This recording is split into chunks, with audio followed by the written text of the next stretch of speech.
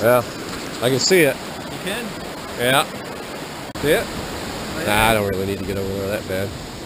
I mean, we can. It's a nice arch, though. That's the uh, old Yeah, yeah, that's the whole Grecian arch One. design from way back when. That's rowdy. That would be fun. I think it'd be wild, yeah. That's big. You could surf that with a small boat, but you could play on it.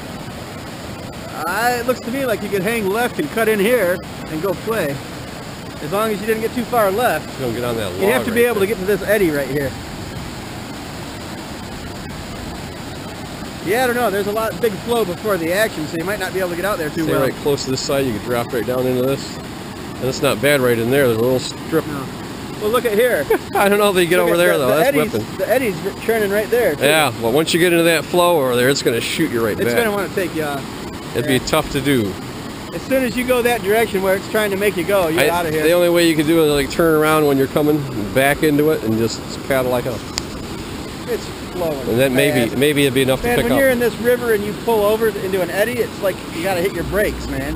like three dips right there. Look at how high that water splashed on them trees there.